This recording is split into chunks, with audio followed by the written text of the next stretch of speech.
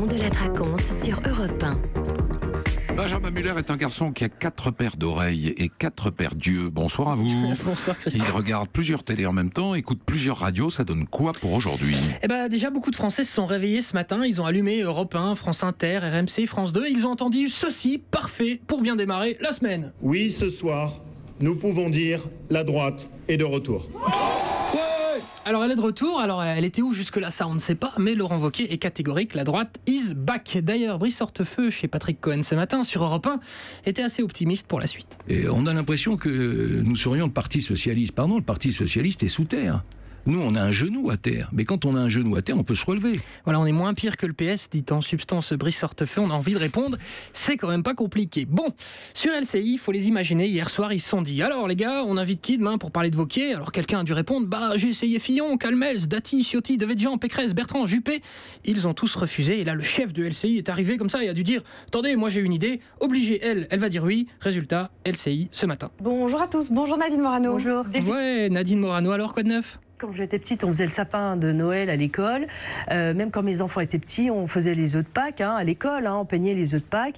Eh ben c'est super ça. Continuez de nous, nous parler de vous, s'il vous plaît. Figurez-vous que j'ai fait euh, un, un sondage IFOP sur mon action parlementaire. et que 74% des sympathisants de droite sont satisfaits de mon action. Ça, ça compte beaucoup plus parce que c'est l'IFOP et c'est pas YouGov.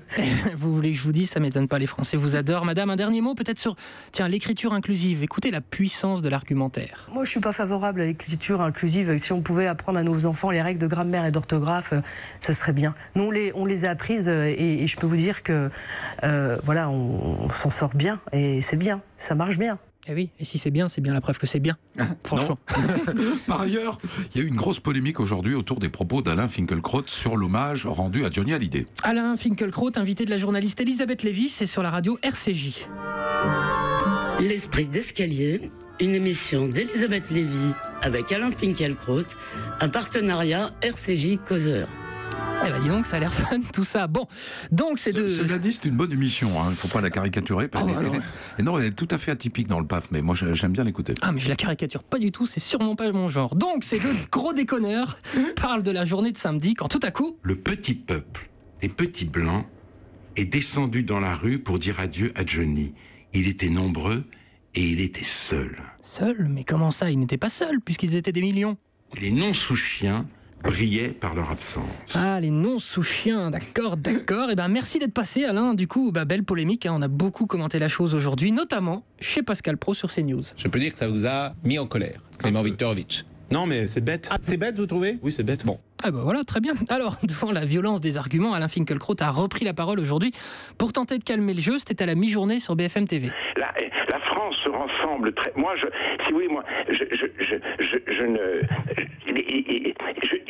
Quand, je dis Ah bah voilà, c'est beaucoup plus clair. mais C'est un montage Non, c'est pas du tout un montage. pas un montage. Non, on le sent un peu perturbé. J'imagine que ça l'a un peu chamboulé, le petit Alain. On va terminer avec du football. Ah bah si vous voulez, hein. pas de bol, le PSG se tape la meilleure équipe possible en Ligue des Champions. Sophie, vous avez suivi, on va jouer contre qui? Oula, oula, non, non. Le Real de Madrid. Ah, Sophie Bon, je vous rassure, raté. Sophie, je vous rassure, le coach Unai Emery, tout à l'heure sur Bein Sport et restez zen. Je crois que le huitième, euh, c'est aussi une- un bon moment pour jouer, parce que il a dit comme ça.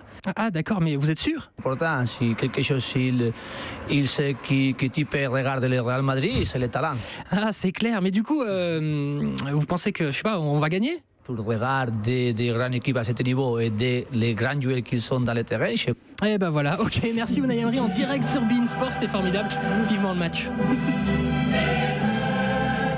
La musique de la Ligue des Champions. Merci à vous, Benjamin Muller.